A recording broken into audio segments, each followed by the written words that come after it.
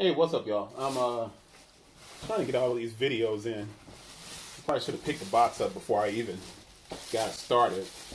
But because we know a lot of stuff is on sale, biggest box ever. I mean, and I know it's a size 13, but it's so wasteful, man. This box is huge. Nike really needs to do something about these boxes. And this is the thing. I, I know that it's a big shoe, but half this box isn't even being used. Recycle paper, Nike. This is ridiculous. Um, this is a shoe. The Penny 5 obviously did not exist prior to Penny um, retiring, which I think he Penny retired from the Knicks. Not sure, but he's the head coach here in Memphis now. And um, the Nike Air Penny 5 was the fifth signature model. I don't think there's a six. No, no, there's not. There's the half cent, which and the Zoom Rookie. So you got a couple of different models that are based on Penny shoes, but the Penny Five is the last model, and I can't remember if it was made before he retired. No, the Penny Five came afterwards. The Penny Four, can't remember. Anyway, Nike Air Penny Five. This is what's called the invisibility cloak.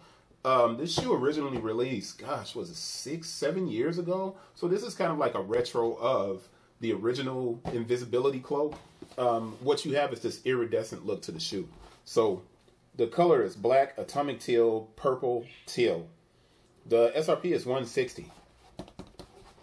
The uh, style code 537-331-002. I don't think anybody's bootlegging this, not getting into the UPC, the UPC for the size 13. I will give you, however, the stamp because I always want to give you the stamp for QC just so you guys can check and see if yours was made around a similar time of stamp 12 19 19 16 12 19 19 16 so i'm pulling this out so you can see it. And had i been doing videos back in the day this shoe would have been up. I sold a ton of these when they originally came out. The storm is over at the hill and these are quotes i think these quotes from his um his grandma, his grandma who raised him. Part two, Heaven Sent. Make sure I get that up there. Eh, it's not getting in focus, but you can see it. Part two, Heaven Sent. And you have the one cent logo on the tongue, of course, at the heel. And you can see this kind of cloak, iridescent look where it shimmers and changes throughout the upper. And then the outsole is translucent. But uh, you also see the location on the inside of the shoe is the state of Tennessee, and that star is where Memphis is, West Tennessee, right? Hometown. Um, do notice that this has the carbon fiber mid foot shank. I don't think it's full length carbon fiber. I'm not sure about that, but it's probably only at the midfoot. And you can see the max air cushion at the heel and that bubble is kind of translucent. Yeah. So dark you can't really see through it. I'm trying to find other style cues. You see that there's an inner sock liner. Not really a sock liner. Yeah, it is. It's a sock liner.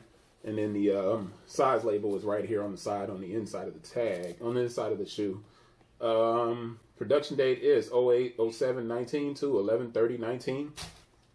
12, 19, 19. It's perfect. So we're good to go. Now that other shoe that I just did in the video that looked similar to this one, which a lot of them look similar to this one. Um, the date didn't match up. The stamp wasn't right, so it wasn't dark enough, so I couldn't see it. But most of this shoe is kind of heat welded throughout the upper, and you see elements of the Penny 2. There are just small, minute details on this shoe that you can see from different models.